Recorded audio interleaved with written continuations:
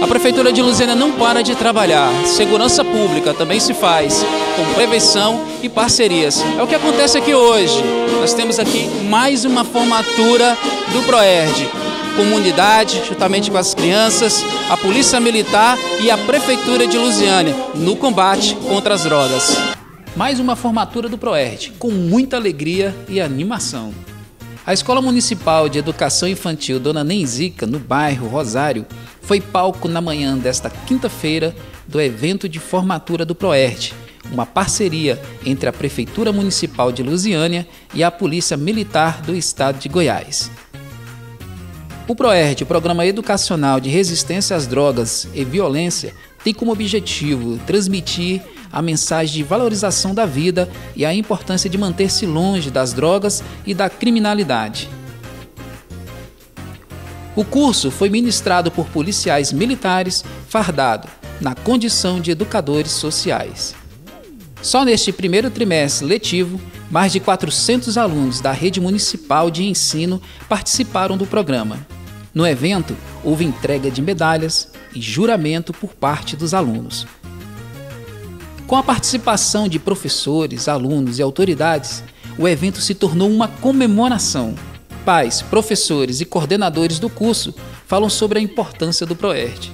Se não fosse a prefeitura, o que seria da, dos pais sem esse programa, só de incentivação das crianças afastadas da droga, eu agradeço muito à prefeitura e ao prefeito Cristóvão. Eu acho importante a parceria da, da Polícia Militar com a da Prefeitura, que envolve com a comunidade escolar toda. Né? Existe essa lacuna e a gente pode fazer muito ainda. É, a gente vê o, a, o resultado que, que, desse trabalho de não ser feito, né? A gente vê isso na sociedade, que precisa ser feito isso. E existe muito, muito espaço para a gente fazer, muito trabalho para a gente fazer. E existe essa, essa oportunidade da parceria prefeitura, polícia, a comunidade, os pais. E é isso aí que a gente tem que fazer. É, assim, de um grande êxito da parte do prefeito, né, Cristóvão, ele está tá dando essa oportunidade para as crianças, para as pessoas de escola, para as professoras, os demais. E, assim, tem uma grande parceria e é bem importante, porque associa todos os vínculos.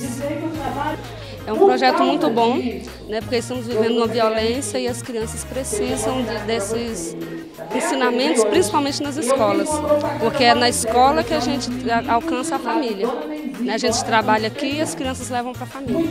E a gente já, já, nós já obtivemos muitos resultados né, positivos com relação a esse projeto trabalhado aqui com as crianças. Na realidade, esse projeto ele é desenvolvido lá nos Estados Unidos.